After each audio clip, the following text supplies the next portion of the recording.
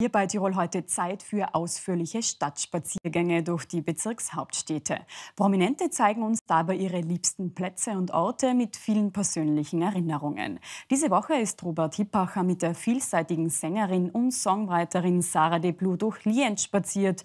Die Osttirolerin hat ihm dabei unter anderem verraten, warum ihre Karriere schon im Kindergarten begonnen hat und warum sie immer blau gekleidet ist.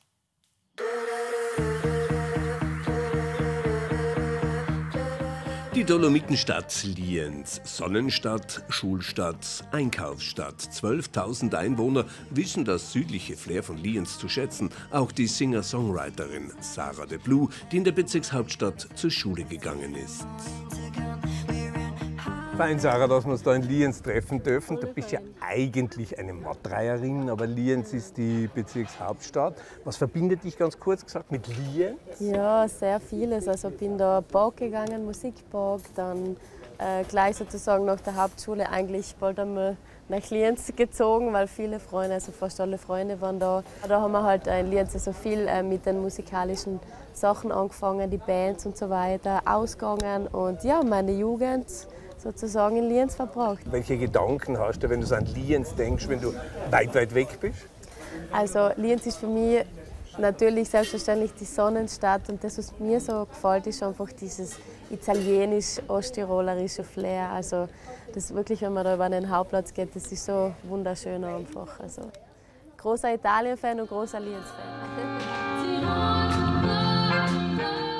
Sarah de Blue ist eine vielseitige Sängerin. Sie hat bei The Voice of Germany genauso teilgenommen wie bei der Song Contest Vorausscheidung in Sanremo. Sie wurde auch Gewinnerin des Golden Stag in Rumänien. Zurzeit ist sie unter anderem mit Flo's Jazz Casino on Tour. Ja, aber das ist doch ganz was anderes, wenn man dann auf großen Bühnen ist. So mit so da auf der, auf der kleinen Bühne wahrscheinlich, oder? Ja, so ähm, Lampenfieber würde ich jetzt sagen, ist schon auf großen Bühnen ein bisschen größer, weil wenn man so beim Donauinsel oder so vor 20.000 Leute alle richtig wow. Aber das Tolle ist, du kriegst einfach die Energie zurück und ich sage immer zu meinen Schülern, Lampenfieber ist immer ein bisschen gut, ich, be ich bezeichne das immer so als Konzentration. Wenn man so ein bisschen konzentriert ist, glaube ich, dann passt es. Also Apropos Schüler, jetzt gehen wir schauen, wo du in die Schule gegangen bist. Ja, genau. Eine besondere Bühne findet sich beim Borg Lienz, eine Arena für Schulaufführungen aller Art. Im modernen Amphitheater hat auch Sarah mit dem bürgerlichen Namen Köll ihre ersten Auftritte und Schulerlebnisse gehabt. Da gibt es viele, viele tolle Erinnerungen, auch ein paar lustige. Ich kann mich noch erinnern, äh, damals meine geliebten Adidas Superstar hat der Lehrer vom vierten Stock dann geschmissen, weil wir haben ja nicht die Schuhe anhaben dürfen. und plötzlich sind meine Schuhe dann einfach ja, vom vierten Stock heruntergefallen. Eigene pädagogische Methoden, du ja, hast genau. andere pädagogische Methoden. Kann ich mir vorstellen, weil du bist jetzt auch Musikpädagogin und unterrichtest das, oder? Genau, ja. Ich bin ja da auch Musikbau gegangen, also äh, bin ausgebildet worden, musikalisch Klavier und auch Stimmbildung und so weiter habe dann auch IGP studiert und jetzt unterrichte ich auch Gesang. Genau. Geht sich das alles aus zeitlich? Ja, es ist ein bisschen stressig, aber das geht sich nur aus. Ja.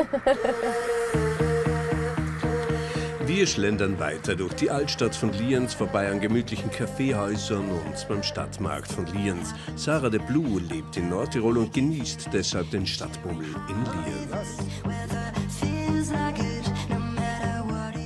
Dass dir die Musik in die Wiege gelegt ist, ist bekannt durch die Mutter. Aber was war denn so der erste Schrei der Sarah de Blue? der erste Schrei, ja, ich kann mich noch erinnern, im Kindergarten äh, so ein Musical, die Vogelhochzeit. da schon damals die Hauptrolle als Küken bekommen und ja, dann ist es so weitergegangen. Mit der Mama viel äh, Musik gehört, also Michael Jackson, Whitney Houston nachgesungen, imitiert, auch Schallplatten gehört. Und ja, das war eine sehr coole Zeit damals und so hat es, glaube ich, eigentlich angefangen. Also du warst ja nicht das Blaukehlchen schon. das Blaukehlchen. Warum blau? Ja, ähm, also hat eigentlich angefangen mit meiner Bluesband, also dieses I'm Feeling Blue und ähm, blauer Look, blaue Augen natürlich, also Kostüme oder Kleider immer blaue Farbe. Gefällt uns allen sehr gut, der Family und mir. Und ja, Dann schauen wir, wo es uns jetzt hintreibt. Ins Blaue wahrscheinlich. Blaue, genau.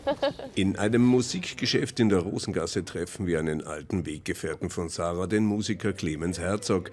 Der richtige Ort, um unseren Stadtspaziergang musikalisch ausklingen zu lassen. Ich bedanke mich bei dir Hey, vielen Dank. für eine wunderbare Wanderung Fein und wünsche euch noch ein feines Jammen. Dankeschön. Ciao.